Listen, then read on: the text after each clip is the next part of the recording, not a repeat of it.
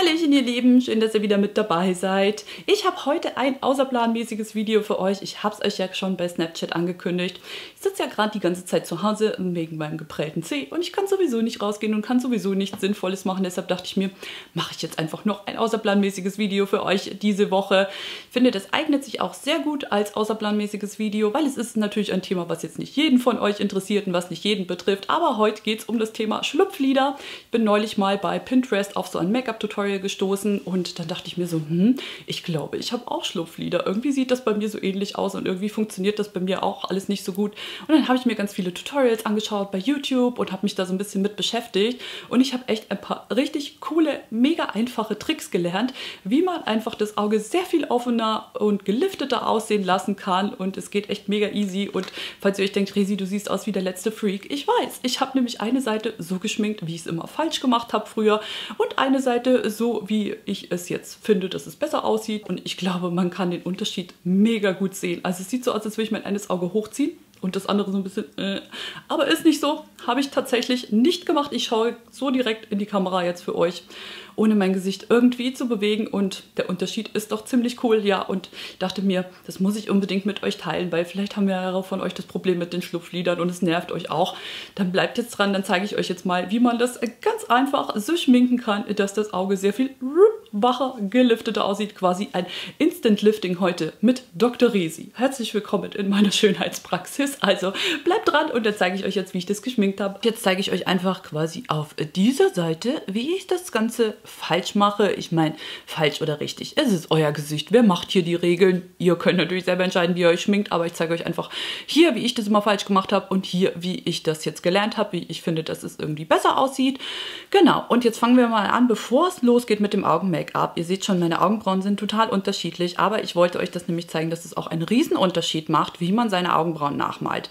Ich habe nämlich hier auf der Seite, das habe ich früher immer gemacht, meine Augenbrauen viel zu weit hier runter gemalt. Ihr seht das, wenn ich meinen Kopf so ein bisschen drehe, dann geht die Augenbraue hier relativ weit runter und ich habe das einfach immer viel zu weit nachgemalt. Und wenn ihr einfach hier oben diesen Bogen nicht nachmalt, dann geht es einfach mit dem Auge und es drückt das Auge so ein bisschen runter. Ich glaube, man sieht den Unterschied schon ganz gut. Sorry, ich muss hier immer in meinen Viewfinder schauen, dass ich sehe, dass ich euch auch das Richtige zeige. Und auf der Seite habe ich die Augenbraue einfach nicht so ganz weit runter gemalt und jeder hat ja hier schon so einen höchsten Punkt von der Augenbraue und da muss man eigentlich nur mit der Form gehen, dass man bis hierhin nach oben geht und dann hier ein bisschen runter, aber nicht zu weit. Und ihr seht schon, wenn ich so gerade gucke, dass einfach dieses Auge viel gelifteter ist, einfach da, weil die Augenbraue weiter nach oben geht und hier, das drückt das Auge so ein bisschen, wenn man die Augenbraue zu weit runter malt und es sieht einfach so ein bisschen müde aus. Genau, jetzt fangen wir mal an. Ich zeige euch jetzt mal gerade auf der Seite, was ich immer falsch gemacht habe. Und zwar, ich liebe natürlich Glitzerlidschatten und bin dann immer mit einem hellen Farbton, man fängt ja immer hell an, mit einem hellen Farbton einfach über das komplette Auge gegangen. Das mache ich jetzt mal. Und ich habe die helle Farbe halt auch immer hier noch schön in die Lidfalte gegeben und einfach so über das komplette Augenlid bis nach oben hin, weil ich mir dachte, ne, Glitter, wieso nicht? Gönne ich mir einfach mal ein bisschen mehr davon. Jetzt zeige ich euch auf der anderen Seite, wie man es richtig macht. Und zwar nehme ich hier einen hellen Lidschatten. Das ist so eine helle Hautfarbe. Und da ist es ganz wichtig einfach, dass es ein matter Lidschatten ist. Das ist eigentlich auch schon der größte Trick an der Sache. Kein Glitter-Lidschatten nehmen, sondern eine helle matte Farbe. Und die gebe ich jetzt nicht über das komplette Lid, sondern einfach nur hier unten auf mein bewegliches Lid, weil das möchte ich ja betonen. Dann zeige ich euch jetzt auf der Seite, was ich dann immer gemacht habe. Natürlich geht man hier hinten mit einem dunklen Lidschatten rein und in die Lidfalte.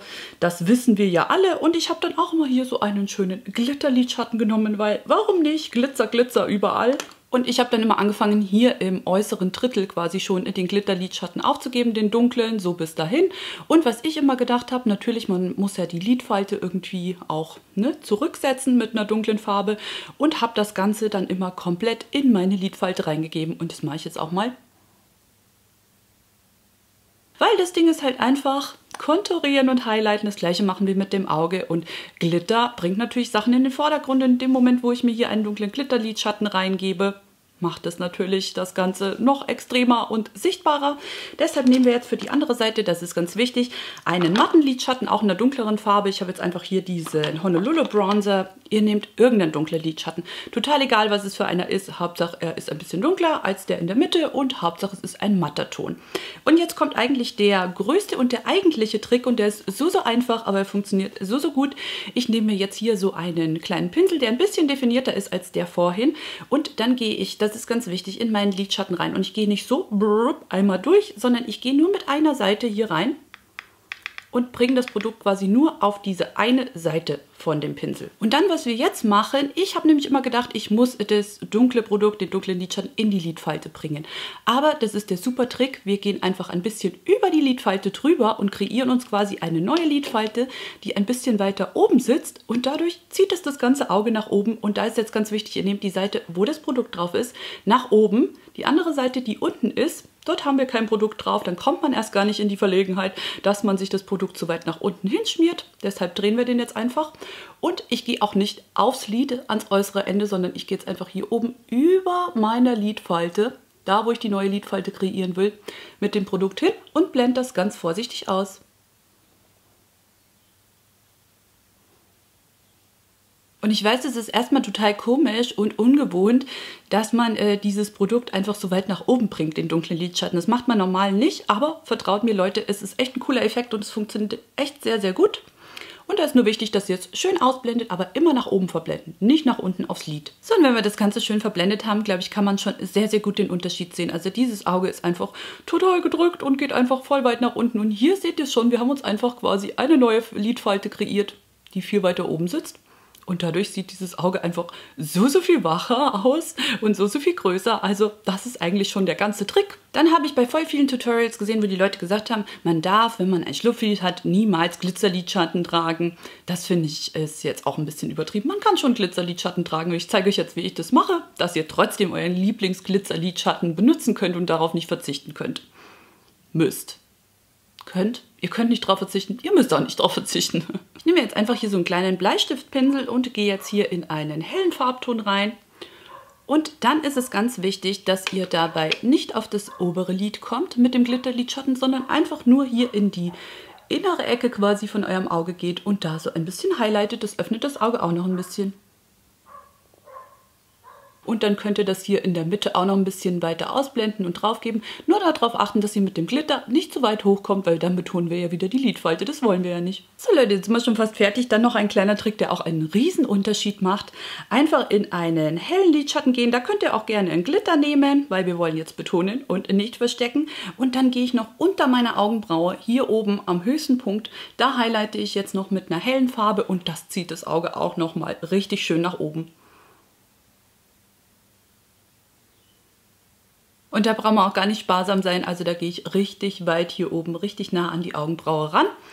Genau, Leute, und das ist eigentlich schon der ganze Trick. Jetzt kommt natürlich noch das Ding Eyelinerstrich. Ich habe auch früher immer einen Eyelinerstrich getragen, aber es ist natürlich einfach schwierig mit einem Schlupflied. Ich werde den jetzt auf der Seite mal auftragen und dann zeige ich euch mal, was ich meine, was das Problem ist bei Schlupfliedern und einem Eyelinerstrich. So Leute, ich habe mir jetzt hier einen Eyelinerstrich gemacht und ich glaube, man sieht schon ganz gut. Das Problem ist halt einfach, wenn sowieso schon so wenig von dem Augenlid sichtbar ist und man dann noch einen Eyelinerstrich trägt und man jetzt so normal guckt, dann seht ihr schon, dann bleibt vom Lid echt nichts mehr übrig. Und auch hier an der Seite, wenn das Auge hier so ein bisschen schlaff ist, dann geht das hier so runter und der wird quasi unterbrochen, der Eyelinerstrich und das Auge sieht einfach so, oh, total müde aus. Aber Leute, ihr müsst natürlich auch bei Schlupflidern nicht auf den Eyelinerstrich verzichten. Ich trage meistens keinen. Ich finde es jetzt so auf der Seite, wie es ist, eigentlich am schönsten. Wenn ihr sagt, ihr wollt nicht darauf verzichten, kein Problem. Ihr könnt auch einfach mit einem schwarzen Lidschatten ganz, ganz vorsichtig mit einem dünnen Pinsel hier oben an eurem Wimpernkranz entlang gehen und dann habt ihr einen ähnlichen Effekt oder wenn ihr euch einen Eyelinerstrich zieht, dann wirklich nur ganz, ganz dünn und ganz nah am Wimpernbändchen und nicht so einen extremen Wing an der Seite machen.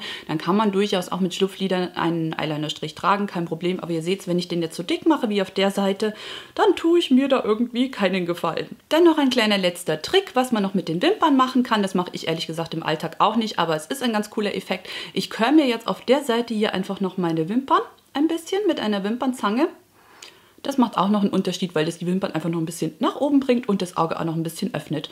Genau, jetzt trage ich mal meinen Mascara auf und dann sehen wir uns gleich wieder. Ja, ihr Lieben, das ist jetzt der fertige Make-up-Look quasi. So gehe ich jetzt raus. Nein, natürlich nicht, aber ich wollte euch einfach äh, zwei verschiedene Varianten zeigen, wie ich es falsch gemacht habe, wie ich es richtig gemacht habe und der Unterschied ist echt ziemlich cool. Ich hoffe, dass euch das Video Spaß gemacht hat und äh, dass es euch auch ein bisschen weitergeholfen hat, wenn ihr auch das Problem mit den Schlupflidern habt. Also ihr seht, man kann so ziemlich jedes Problem lösen und dann braucht man nicht unbedingt sich gleich die Augen liften lassen. Da kann man auch mit Make-up ziemlich viel machen. Ja, wenn euch das Video gefallen hat, Däumchen hoch und Abo nicht vergessen und dann hoffe ich, dass wir uns beim nächsten Mal wiedersehen. Macht's gut!